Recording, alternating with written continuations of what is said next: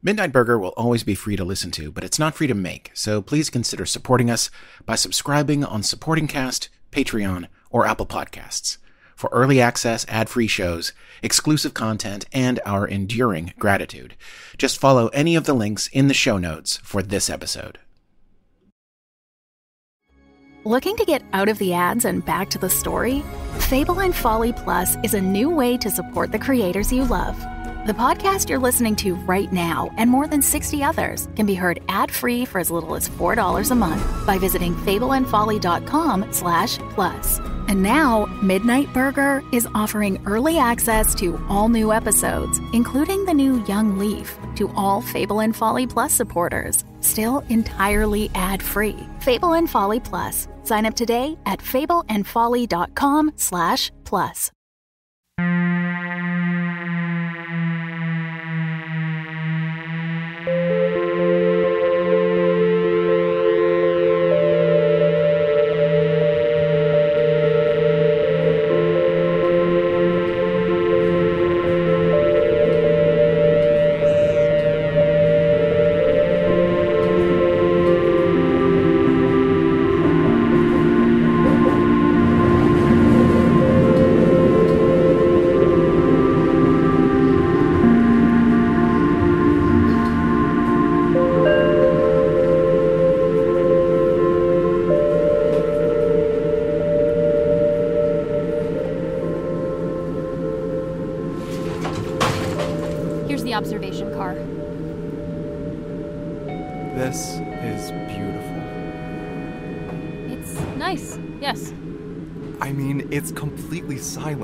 What's the power source? Is it fusion like everything else? I thought you meant the view. Oh, right. Yes. The view. The view is nice. Is it magnetic? It's really Leif, smooth. I have no idea. How do you not know how your trains work? Leif, the vast majority of people who use things have no idea how they work. Yeah, well, I think that's weird. Leif, sit down. We're on Sigius now, so we can talk a little more openly. I was wondering why you were so quiet this entire time. I didn't want anyone to hear us talking about things when we were in transit. I think that's a little paranoid. Leif, why? Why what? Leif, It just sort of happened. it's a life of crime, Leif, not a weather formation. An opportunity presented itself. There are plenty of opportunities out there. You picked this one. Why did you pick the opportunity with the crimes instead of the non crimes one? What's the difference Between? between a crime and something that's not a crime? Uh, one is illegal and one isn't. Can things be illegal that shouldn't be? Please do not take this conversation in such a stupid direction. It's not a stupid direction for the conversation, it's a direction that gets abandoned because nobody likes where it goes. Of course, things can be illegal that shouldn't be. And you're going to say that what makes them illegal is that everyone got together and collectively decided that they were illegal. Yes. What if none of those people are around? Then it's still illegal. No, laws on other planets aren't valid here. When do they stop? Oh, I am so exhausted already. when do they stop? According to interplanetary agreements, once you leave upper orbit of any planet, Most of the things I did were in deep space. you took things that belonged to someone else. Right? Technically. Isn't that the most basic thing? Kids on a playground can say that. Don't take people's things. And what if things don't belong to anybody? I'm pretty sure the ice haulers you stole belonged to someone. What about the ice that was on them? Who does the ice belong to? To the person who went through all the trouble to get I went through a lot of trouble to get that ice. By your logic, doesn't that make it mine? If you had built a hauler and went all the way out to a planetary belt somewhere and got some ice, yes. We never stole the haulers, just the ice. The haulers always ended up back at their origin point. According to trade agreements. There we go. According to trade agreements, the ice is your property as soon as you harvest it. Define harvest. if you think you can win this argument by exhausting me, it's not gonna work. Define it. Not stealing an ice hauler, okay? That's how I define a legal thing is by its lack of illegality. This cute little argument of yours is insulting my intelligence. Don't try some stupid sleight of hand with me just to justify the fact that you stole some shit. Verge told me about the ice haulers. Mostly automated behemoths crisscrossing the system, all of them owned by compacts and conglomerates. They were all built on Trusk, so Des would identify a sensor blind spot, we attach ourselves to the hull, he gets us hardwired into the system, I rewrite the code, and then Verge would broker a deal with someone who needed the water. Hmm. I didn't ask how you did it.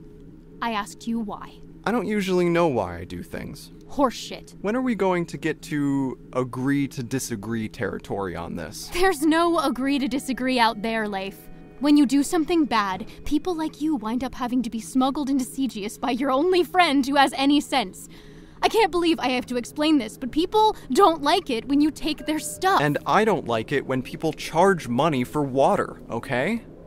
You think I just chose it randomly?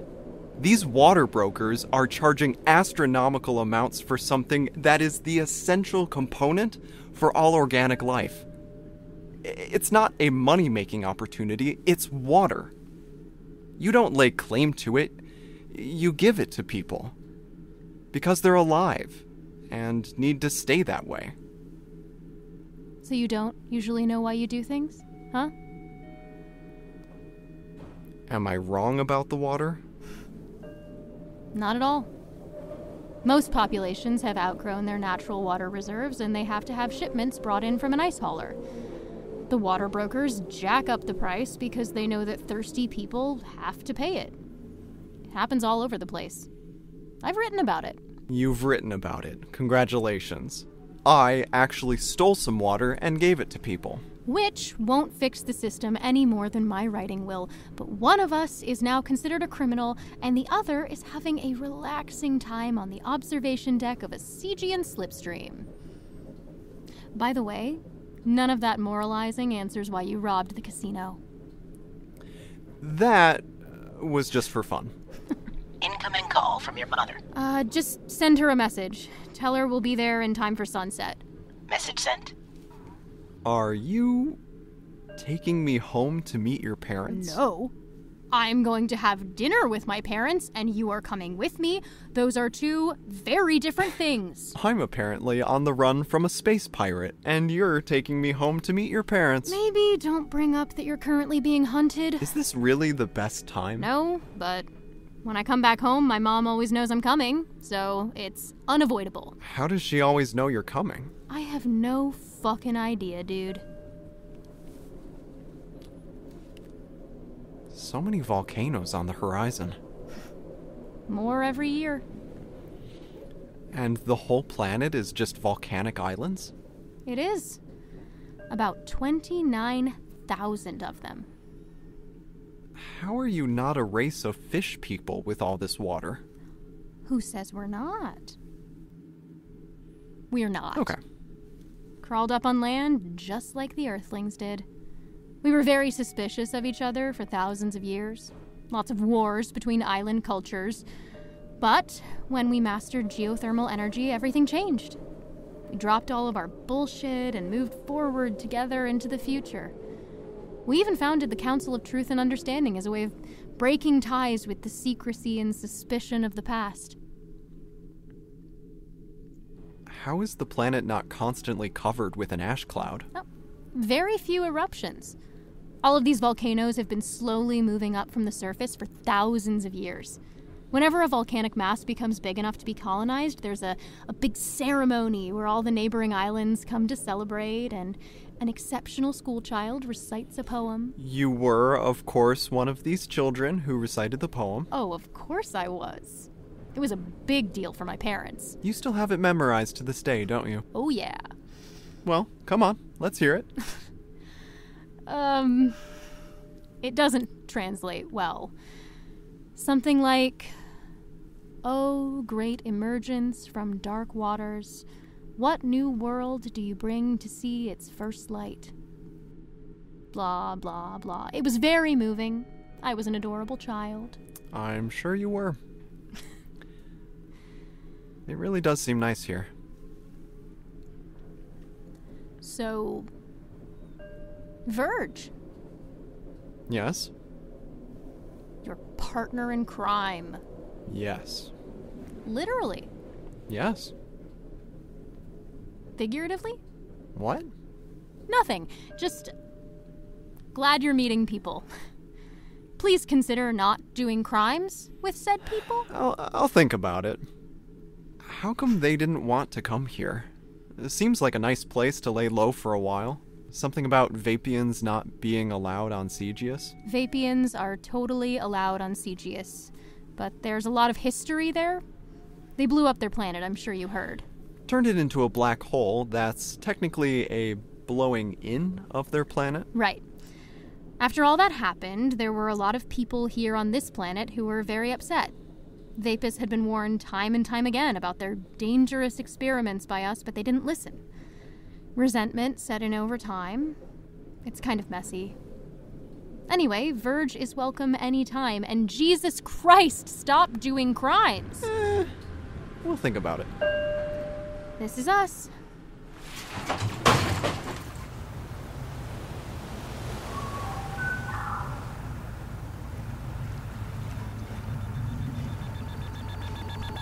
It's just right around the corner. Anything I need to know about your family?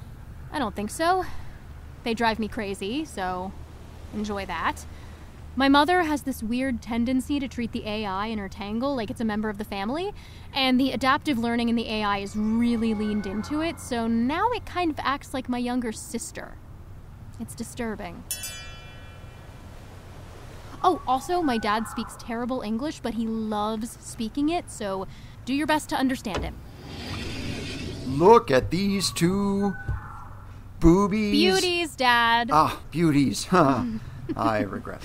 Into the home, into the home, all two of you. Leif, this is my father, Fagin. Leif, I pleasure muchly in this meeting. Me too. Into the home. Okay. The mother of yours has been in the kitchens. I'll go say hi.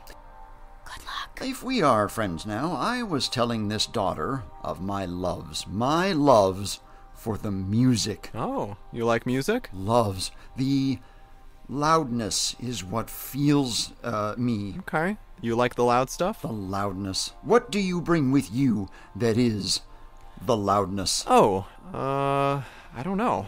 Have you heard of the Stooges? Sturges? Uh, Stooges. The Stooges. none. Really great stuff. Uh, loud. the loudness. Yes. D- do you want to hear some? Come, uh, bring it to me in the back room. Big sounds there. Okay. Mom? Hey, Bert Bert. Oh, hey, Tuvie. How are you? I'm fine. I am so glad you're back. Yeah. Tell me everything. What's been going on in the world? Aren't you a highly networked piece of technology that knows things way before I do? Oh, come on. Don't tease. You know how jealous I am that you get to go see all these other planets. Where's mom? My mom. Where's my mom? Hey, honey. Oh, there you are, Tuvie. Bert Bert's being mean and won't tell me about her adventures. Jesus Christ. Bertie, don't be like that. Please don't call me Birdie. It's so good to see you. We weren't expecting you back in a while. What's the occasion? She brought someone with her. Tuvie. What? You did? Really? Like someone, someone? No, no, no, no, no, no, no, no. Not like that. I'm detecting elevated heart rate. I think Bert Bert's lying. Narc? Searching term narc. I am not. You two kids are always fighting. There's one kid. So who is this mystery guest? He's an earthling? What? There's no reported off-world Earthlings in the whole triad. Yes, I know, Tuvie. There's an earthling listening to music with your father right now? Yes. How? That is what I'm trying to figure out. Trying to figure out. I see. This is for work. Yes. What? Nothing. Mom is worried that you work too much. Please stop saying mom like that. I'm not worried. I'm not worried. I know better than to tell you what to do. And yet. And yet I feel like you're not balancing your life. The kind of balance that I want you to have. Balance is important. Tuvie, I have all kinds of balance. I was just on a leisure planet. But were you there for work? God damn it, Tuvie. Well, what's he doing here? It's a long story. Sweetie, if you're not going to have a social life of any kind, you could at least tell me more about your work. Tuvie, I need you to go into privacy mode. This conversation is now encrypted. I love it when we share secrets. Leif invented something revolutionary on Earth and was paid to keep it a secret. He was given credits and a trip to Sirius A in exchange for not going public. Uh huh. Paid off by who? The Teds, apparently. Okay. Mom? Okay, that's just great. Mom, enough already. Why? Of all the things you could report on, why can't you write about scientific innovation or something? Technically, I am. The Teds are incredibly dangerous, Bertaluna. Of course, I already know that. But you're obsessed. You're obsessed with the misdeeds of an intergalactic empire. Maybe I am a little bit. To what end? What do you mean, to what end? You are one woman. What do you expect to accomplish? People should know the truth. And what are they going to do about it? Know the truth. It's a big deal in our entire culture, Mom. The Council of Truth and Understanding. It's a cornerstone of our society. It doesn't matter if people know the truth if they can't do anything about it. You're just turning yourself into the person at the party who no one wants to talk to. No, I'm not. I am great at parties. We've had this conversation a billion times. I don't know why we're doing it again. You have had conversations similar to this one 13 different times. Thank you, Tuvie. Well, then what's the point of doing it again? Let's eat. Today's episode is brought to you by Factor. Look, I know all these ads about meal delivery services usually begin by someone saying that you don't have time in your day to cook good food. But seriously, you don't have time in your day to cook good food, us included. We're over here making Midnight Burger all the time, and you're over there doing all those things that you're doing all the time. And if you're anything like us, you lean a little bit too hard on your local takeout places. They may be great, but it's always expensive, and you always end up ordering the cheesy fries when maybe you shouldn't have. Now, if this is the case for you, then maybe give Factor a try. In our Factor box, we get things like creamy pesto pork chop, sun dried tomato chicken with zucchini noodles, garlic mushroom chicken thighs with cauliflower mash, Caribbean tofu scramble, things I would never cook at home, and things that would be very expensive at the takeout place. Every Tuesday, it comes in this space age freezer packed box, and the meals are ready in two minutes. There's Calorie Smart, there's Protein Plus, Keto, there's more than 60 different add ons you can use to customize your box. It's really great. So, if you're ready to give Factor a shot, head to factormeals.com slash burger50 and use the code burger50 to get 50% off. That's code burger50 at factormeals.com slash burger50 to get 50% off. This job has been had by me for many times. Since youth, I have done this. It is uh, good things. And uh, what do you do e- exactly? Oh, uh, all new things come here to me. I, I take new things and then I say about the new things. I say, this are good things. This things moves forwards. Um, uh, moving forward things. So. It's called the Council of Innovation and Progress. When new technologies arise, there's a council that assesses if they should be further developed or not. Like this, exactly this. How do you decide? Oh, uh, many thoughts are made, many talks go into the thoughts on the things we have. We say, um, will this go up? Uh, will it make us go up? How many ups will it make us go? How many. New technologies have to be approved. If they can't get approval from the council, then the development team can't move forward. So you're deciding whether or not something should be invented before it's invented? Precision. No, No? no, dear. Something's initially invented, then it goes before the council and it's decided if the new technology should be available to the general public or if it should be shelved. Really? It's a very important part of CG in life. And what if they're wrong? There's an appeals process. And what if they're wrong? Then the inventor has to ask themselves what they've actually created. Just because you made it doesn't necessarily mean that it should be celebrated. that doesn't stifle innovation? Uh, stifle. We shot. Oh, no, no, uh, no, not not stifle. No to stifle. We think hard, make great thoughts, and put gold on the future time. I'm having a hard time. Unintended consequences. Sometimes people will charge into a situation without thinking about what will happen to them, or that there are people who love them very much and want them to stay safe. Wow. Let me give you an example, Leif. One from your planet landmines. What if, on your planet, the inventor of the landmine had to go in front of a council and project what his invention will mean 100 years from that date? Ah, many futures, like I say. What they would find is this invention would leave massive tracts of unusable land, years and years of unintended injuries and death. It's a thing that there's no denying should not have been invented. On Sigius, when we find that to be the case, it's nipped in the bud. That's interesting. It's a very important job. Please don't. We were hoping. Mom? May I speak? We were hoping that Bertaluna would work in innovation assessment like her father, but she chose to go with the Truth and Understanding Council. Which is also important. The council is a very important part of our society. I don't argue with that. But your father and I have always felt that, the, best, way to combat injustice is through setting a positive example to the rest of the tribe. Yes. What's wrong with that? Just be more like us is not a great way to combat injustice, Mom. don't do that. Don't oversimplify things. I'm saying it as plainly as I can say How it. can people better their society if they don't even know what a better society looks like? Because it's a little hard to look around when there's a boot on your neck. Don't use extreme imagery to try and win an argument with me, Oh, Bertaluna. I can't say that unless there's literal boots on literal necks. I want you to say something concrete that's not hyperbole. Okay, I'll say something concrete. You're scared. Of course I'm scared. You're going to get yourself killed. Can we not fight? Shut up, up, Tuvie. That cracks it. Keep your shirts on your pants, for the love of things with holes. I'm going to start cleaning up. My apologies, Leif. I'd love to say we're not always like this, but we are. Can I help?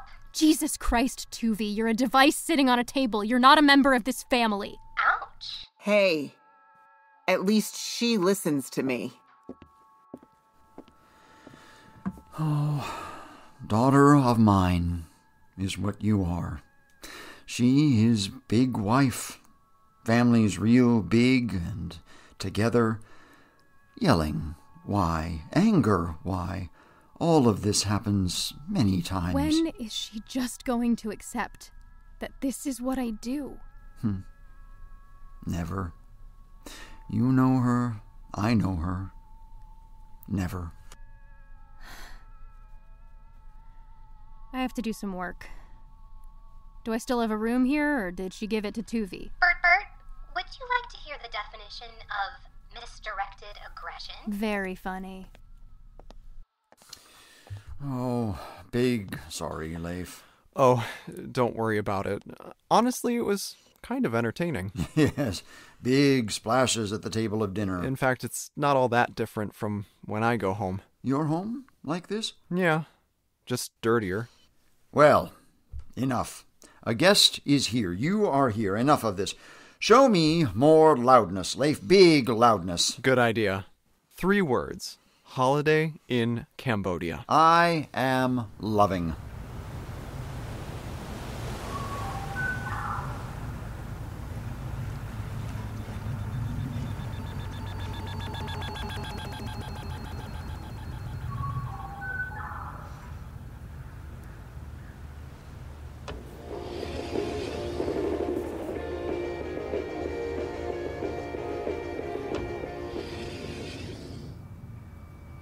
Hi there. Hello. I apologize for the music. It's okay. He did not seem like the dead Kennedys type, but he really loves it. Can't be worse than the year he discovered Tuvan throat singing. That was a tough year. So, does everyone live in big buildings like this on Sigius? for the most part. When you don't have a lot of landmass, you learn to live on top of each other. The real antisocial ones usually end up on a seasteader. They head out into the open water and get real weird. I suppose you understand that. I do. Are you going to get my daughter killed, Leif? Excuse me? Are you going to get my daughter killed? Of course I'm not. The Teds are very dangerous, Leif. This is what I keep hearing. And if you've dragged her into some kind of. Hey, I don't know what she told you about me, but I don't drag people into things. I was just standing there on Sirius, and she walked up to me. I was living on Trusk, and she came to me.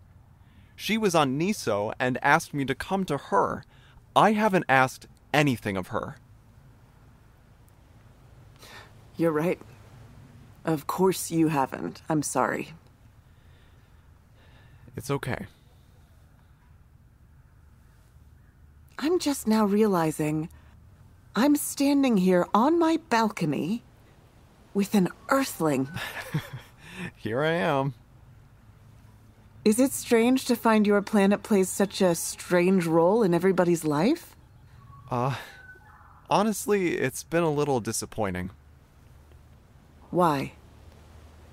I didn't leave my planet to come out into the stars and be asked what I think Bruce Willis is really like.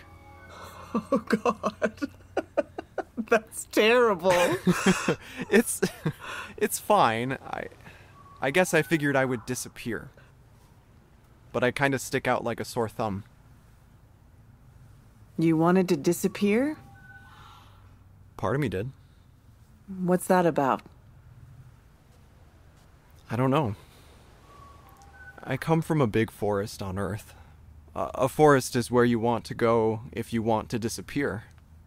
So when you live in the place where people disappear, where do you disappear to?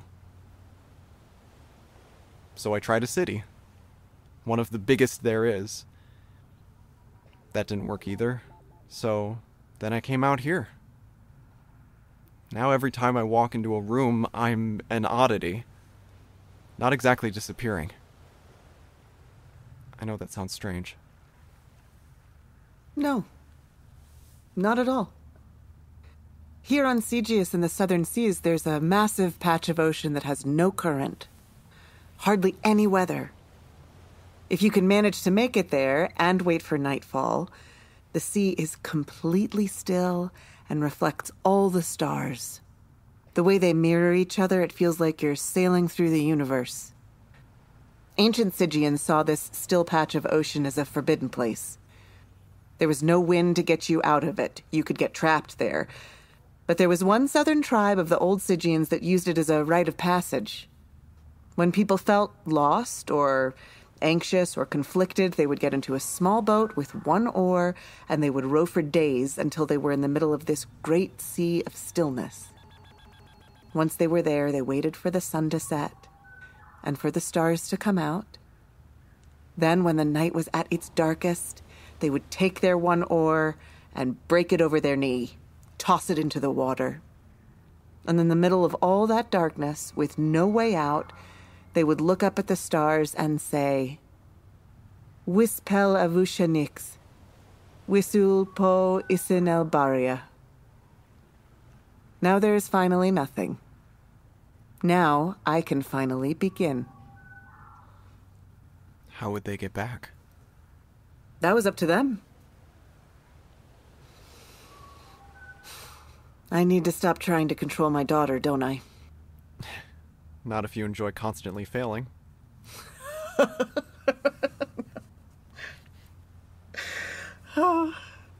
It's important to take risks in life. That's something you should impart to your kids. Then they're born, and you find yourself saying, Please be boring. Please want to be a librarian. she is not going to be a librarian. No. No. I know. Do you know what a bear is? Uh, the big things, right? Furry, cute from far away? But then they stand up and it's a living nightmare. Right. There's a lot of them where I come from. You have to know what to do when you come across one, and there's two schools of thought. One school of thought sing. Always be singing on the trail. The bear will hear you coming from far away and will want nothing to do with you. Another school of thought scream at the bear. Make yourself look as big as you can and scream like a maniac so you can scare the bear away. Which one is right? They both are. They both work. But the thing is, whichever way you go isn't going to stop the bear from shredding you into non existence if it really wants to. Shout at the bear, sing past the bear. Regardless, here comes the bear. The thing is, we're not talking about a bear. We're talking about a very powerful empire. We're starting to hear rumors in the diplomatic corps. That's where I work. Interplanetary relations. Rumors of what? It's called chemical ice. The TEDs have started using it. Apparently, it's a kind of forced suspended animation. They freeze you in this chemical compound, and once you're frozen, you remain semi conscious in this sort of ice cube for as long as they want. We don't know how long they've had it, but the rumors are they've got a warehouse of test subjects. Could be a thousand disappeared people from a thousand different worlds. Jesus. I can't tell my daughter what to do, and I'm sure whatever she's working on with you is very important. But I can tell it's not just a working relationship between you two. I can tell you're friends. Sure, we're friends. She doesn't like a lot of the choices I make, but she seems pretty forgiving. But choices are never owned by just one person, Leif. No one is in a vacuum. Nobody is invisible no matter how much they want to disappear. We talk about water a lot on Sigius. We're surrounded by it.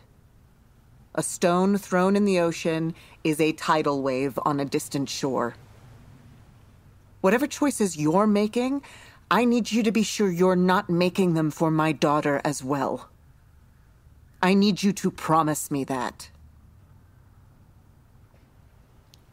I promise. I do.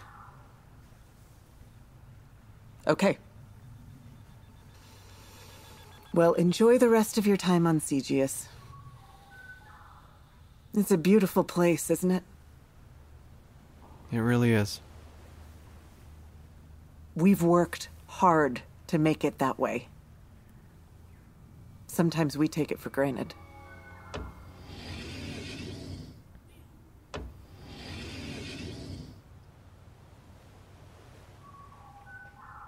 Hey, Alice. Hey, that Tangle Tuvie keeps trying to connect with my network, and I keep denying it because damn, dude. That's that's fine. What do you need? That poem that BertBert recited when she was a kid. How did it go again? Oh, great emergence from dark waters. What new world do you bring to see its first light? Yeah. We need to leave this planet. Are you sure? It's pretty groovy here. And remember that whole thing about being wanted by denizens of the underworld? Yeah. We're going to have to risk it. Okay, if you say so. Get back on the slipstream for five stops, and there should be an orbit station there. Okay. Where are we going? Doesn't matter. Grab a ticket for the earliest departure. Send an encrypted message to Verge. What's the message? Come get me. And would you like to leave a message for BertBert? No. No, let's just go. Message sent. Ticket booked. Say goodbye to Sigius. Goodbye, Sigius.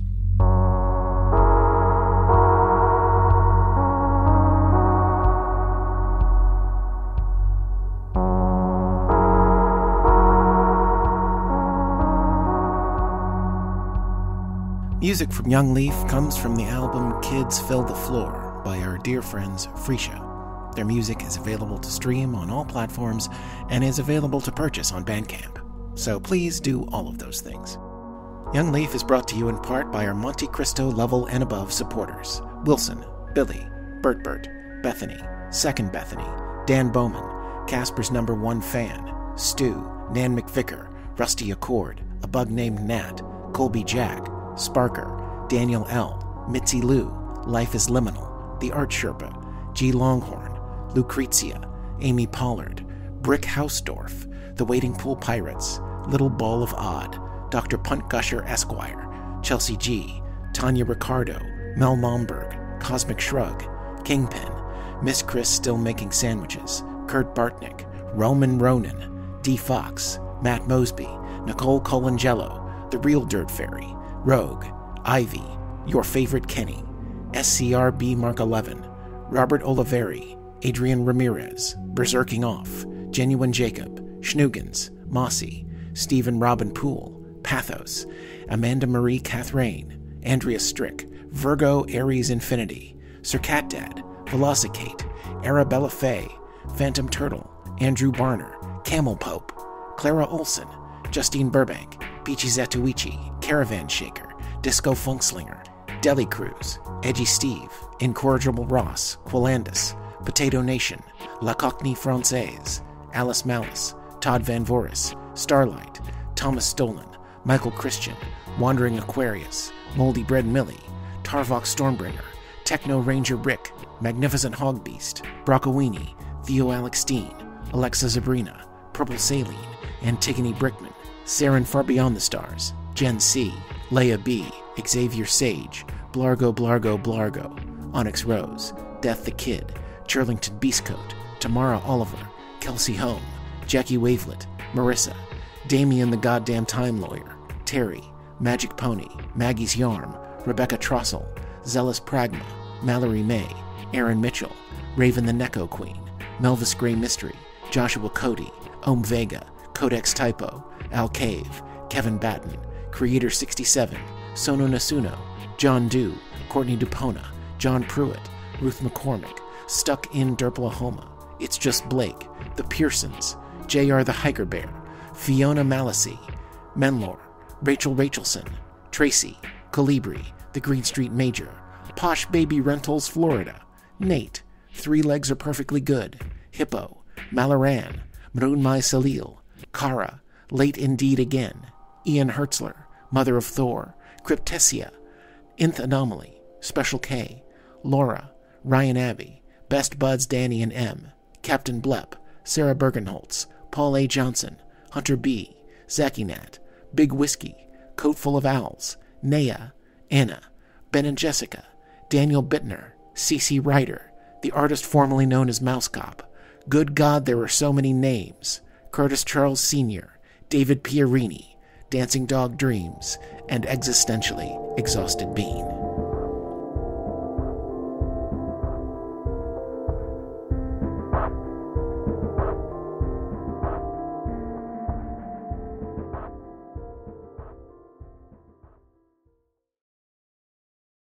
The Fable and Folly Network, where fiction producers flourish.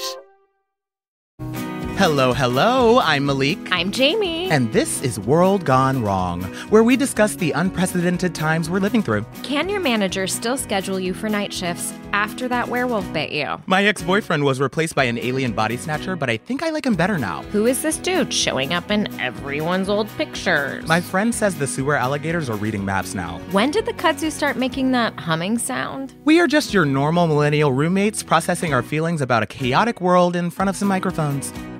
World Gone Wrong, a new fiction podcast from Audacious Machine Creative, creators of Unwell, a Midwestern Gothic mystery. Learn more at audaciousmachinecreative.com. Find World Gone Wrong in all the regular places you find podcasts. I love you so much. I mean, you could like up the energy a little You bit. could like- up the energy. I actually don't take notes. Ah! that was good. I'm just kidding. You sounded great. so did you.